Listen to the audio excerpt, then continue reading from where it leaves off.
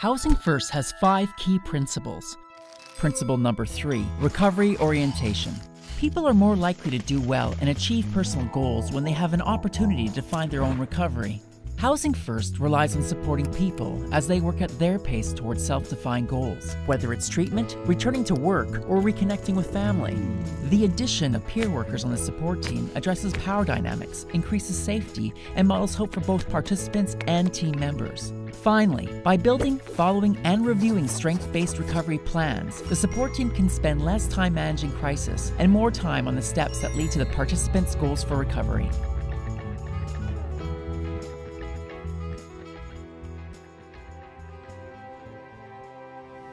My mind works differently than your mind, and your mind works differently than Gwen's mind. And everyone has a mental difference. We, there are similarities, of course, but we do have differences. And so I find that it's more empowering for me to just say I have mental differences and this is what it is instead of saying I'm ill.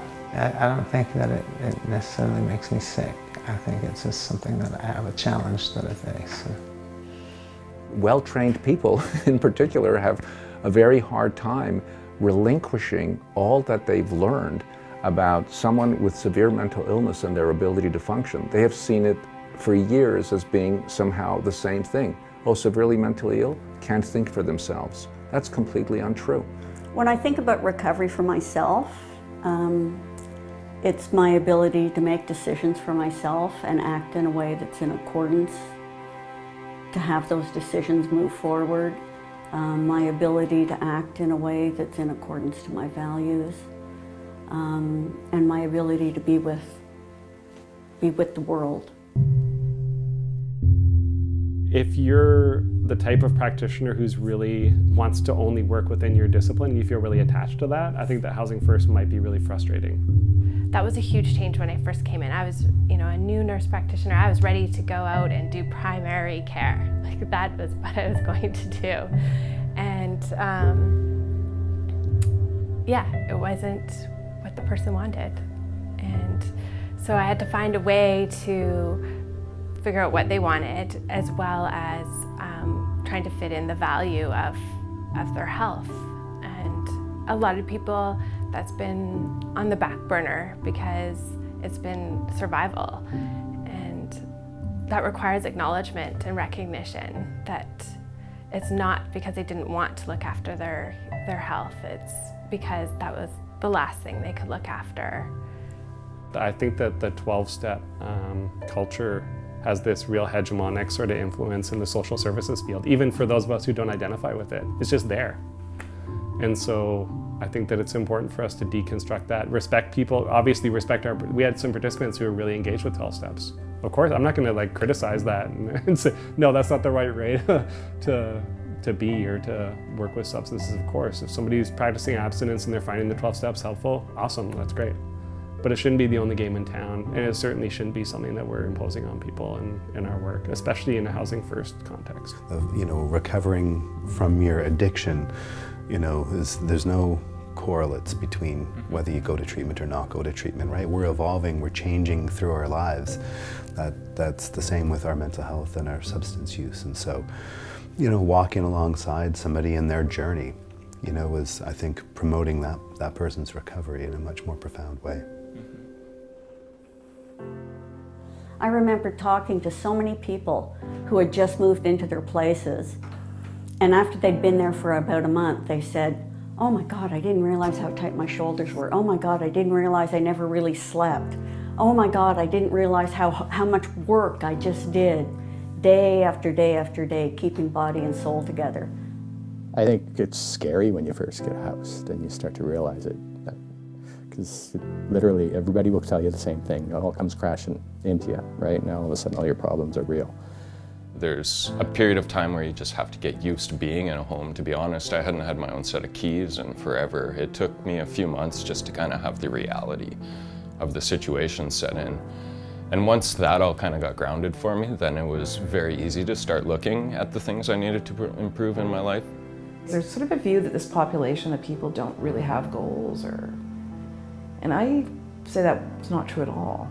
You know, everybody had goals and most people had pretty grand goals. Most people had goals like going to school, going back to work, you know, regaining custody of children, like pretty significant, big, long-term goals. But the other thing about recovery is sometimes people have goals that you have some difficulties with that you don't quite get with. But I would argue that those are really important goals and you just work with them. This person felt that the real indicator that they had made it, that they were doing well, was to have groceries in their fridge every Friday. Not just on check day, not just once a month. And with that, gave us all kinds of little goals that we could work on. So we didn't talk about the addiction, we didn't talk about taking the antiviral drugs, we didn't talk about any of that stuff. All we talked about is okay, how, how do we do that? What do we need? But with that came, guess what? Spending more money on groceries, spending less money on drugs. Spending, uh, with that, their health had improved, their diet had improved. So it's amazing how something that may seem so small as having a loaf of bread and peanut butter in your fridge at the end of the week can actually lead and, into so many other amazing things that improve your overall health and quality of life. And that for me was a big learning experience to, to sort of stop looking at recovery in terms of you have to be working on this immediate goal that, you know, really um, every little step, if it's a positive step towards wellness, is leading to that overall goal of, of, of recovery. As healthcare professionals, we struggle with addiction. We struggle with mental illness. We struggle with violence in relationships. Um, we struggle with all of the social problems that the folks we're trying to serve struggle with. The problem, the problem being in terms of stigma is that our struggles are not just hidden, they're protected. Um, and that public struggles are really define a person. Um, the point's not for people to be free of struggles. The point is for people to be free of oppression.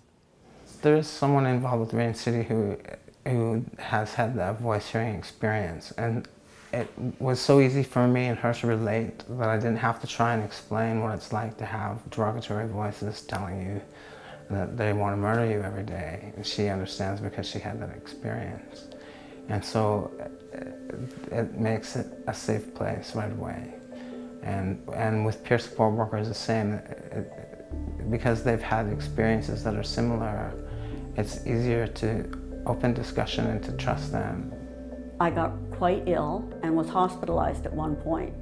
And being quite open about that when I got back to the team and letting participants know that that's where I was. Yeah, I ended up in the hospital too. I know what it's like to be the only person in ER wearing the gold pajamas. And it's really lousy. It's really lousy. And if you're not a peer, there's no way you know what that feels like. As a peer worker, I'm there to listen to them and to um, tell, tell them, yeah, I, I can maybe relate. I don't really understand 100% how you feel, but I'm here to tell you that I've been struggling and it's, there's no shame in str struggle. And I understand you have trauma, you're marginalized, you're discriminated. And I hope I can advocate on your behalf or be with you there to make your journey easier. She was a good reflection for me. Um, she helped me be honest with myself about whether I really felt that I was making progress, um, which honestly I had a really hard time with. She had to remind me a lot of the time that I was making progress. Um, you know, for a while just showing up to all my meetings and appointments was a big thing. It didn't feel like a big thing, but it was. Part of the bonus of having peers on the team is it, it really breaks down notions of power over because one of the basis of peer work is to have a reciprocal relationship. I'm learning from someone at the same time they're learning from me. And we talk about that quite openly with the people we're working with. Just the knowledge that there was somebody in the room changed the way that people were engaging and speaking with things. And it wasn't a kind of, you have to be more politically correct now with your language because there's somebody who's going to call you on it. It was just really, we all want to stay true to these kind of principles and um, there's there's people around who are going to help help us do that, and we're really lucky for that. I guess really I thought again my intentions of being like if you just go into this recovery program or you just do this like it's there that will be the life-changing thing versus sitting and taking a moment back and being like what would you like? What what are you wanting to do? What's meaningful to you? I think we make it much more fancier than it needs to be and much more uh, medicalized than it needs to be. It really just needs to, be what the person's goals are and dreams. And to be able to dream is a recovery and wellness in its own.